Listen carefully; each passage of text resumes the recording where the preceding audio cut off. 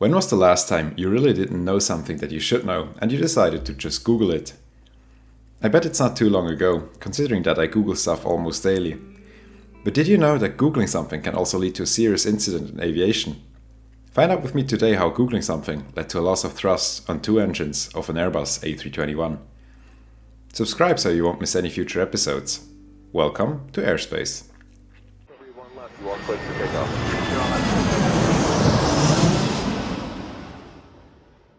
On February 26, 2020, back when the world was still almost normal and planes were flying all over the world, Titan Airways Flight 411 Whiskey, operated with an Airbus A321, had just departed from London Gatwick for its very short positioning flight to London Stansted.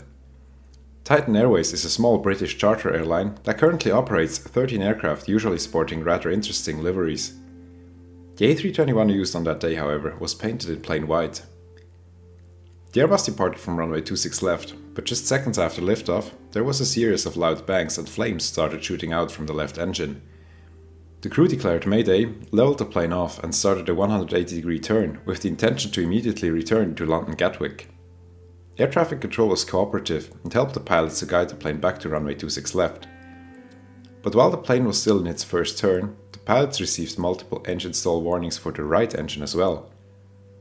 According to the captain, the plane was yawing violently at that time due to the repeated engine surges. While he was flying the plane manually, he instructed the first officer to prepare all systems for a quick return to Gatwick. As he lined the plane up with the runway, he intentionally remained a little high on the glide slope to have some spare altitude in case the engines were to fail completely. Luckily they didn't and the A321 touched down on runway 26 left 11 minutes after departure. After the incident, an investigation into the matter was started. As a disclaimer, this investigation is not yet complete and all findings I present to you here are based on a preliminary report. But from what it describes, it is pretty clear what happened. To understand this case, let's go back to November 2019, three months before the accident. During a routine inspection, an engineer took fuel samples from the tanks of the A321 those samples were sent to a laboratory and were checked for microbial contaminants. Yes, apparently there are bacteria and fungi that can survive in the small portion of water contained in all jet fuels. These microbes may reproduce very quickly and in sufficient quantity can leave a sludge-like byproduct. This sludge can cause corrosion on steel and aluminum surfaces, attack rubber seals and can foul filters and system instrumentation. When the fuel sample of the Titan Airways A321 was analyzed, a moderate contamination with such organisms was found. In such an event, the maintenance task dictated that the measurement should be repeated after 10 days, and if it came back as contaminated again, a treatment with biocide would be in order. However, this measurement was never repeated.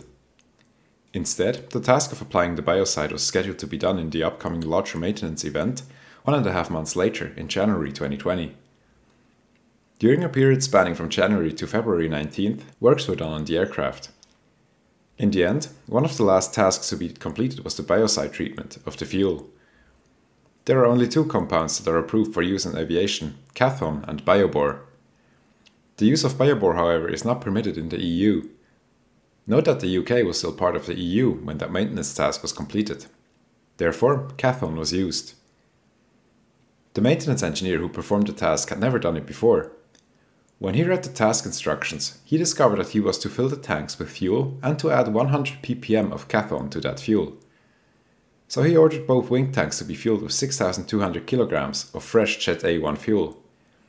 He however did not understand what the unit ppm, parts per million, meant, and the task did not explain it either. Therefore, he decided to just Google it. Google knows everything, you know. He found the definition of the unit and even stumbled upon an online calculator. With that, he calculated the required amount of Kathon to be added to each tank and determined it to be 60 kilograms each. Conveniently, he discovered that there was 150 kilograms of Kathon still in store at the maintenance organization, and he placed an order for 120 kilograms of it. Soon, it was delivered to him, and he applied it to both tanks. As the task was classified as a non-critical task, no supervision by another engineer was necessary, and so he wrote the task down as completed. The aircraft was left stationary for 24 hours for the fuel treatment, and after that, some of the fuel was transferred to the center tank of the aircraft to treat it as well. In the end, the aircraft was returned to the operator. But soon, first signs of trouble started to arise. The aircraft completed four flights across Europe, but during all of these flights, engine related problems occurred. Most of these problems happened during engine start, when one of the engines would not start up properly and would require multiple attempts to get going. On the last flight before the incident flight, the crew received two warnings about engine 2 stalling during cruise. These were short in nature, but the pilots also felt some vibrations. Therefore, they advised their maintenance department to please check the engines before the next flight.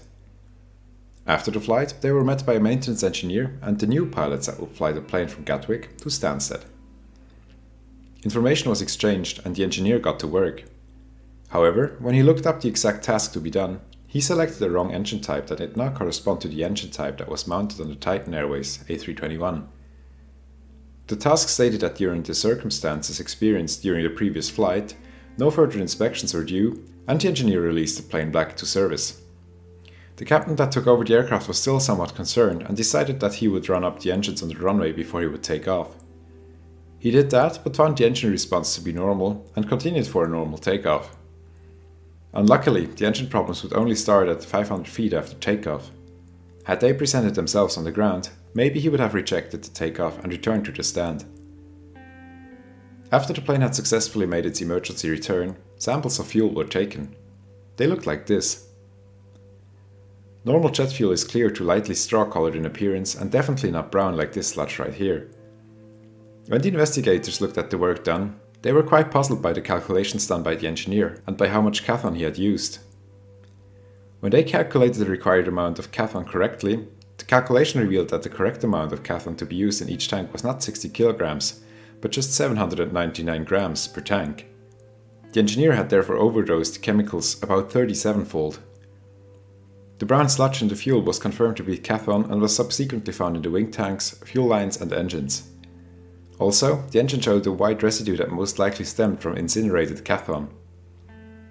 During interviews with the maintenance engineer that inspected the engine after the problematic flight, before the incident flight, it was revealed that the maintenance organization had not yet upgraded their software to the newest version suggested by Airbus. Why the engineer selected the wrong engine type, however, could not be determined. Had he selected the correct type, the associated procedure would have dictated to perform an inspection with the borescope. That is basically a camera fixed to a long, flexible tube. This permits an inspection of almost every nook and cranny of the engine without disassembly. The engineer would have in all likelihood discovered that many engine parts were covered in residue and would have grounded the plane. After these initial findings, the manufacturer of Kathon discontinued the use of its products for aviation fuels also, CFM, the manufacturers of the A321's engines, warned of the consequences of Kathon biocide treatments. In the end, that leaves the EU without any approved chemicals for biocide treatments. Why these steps were taken is beyond me, since the incident clearly happened because of a misuse of the product, not due to the product itself. But I may be missing something here. The A321's fuel systems and engines were cleaned and repaired, and it was put back to service.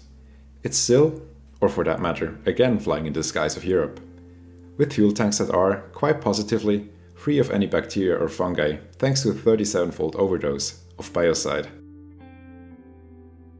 Thank you very much for watching, I hope you liked this week's video. Make sure to subscribe so you won't miss any future episodes. See you in the next one.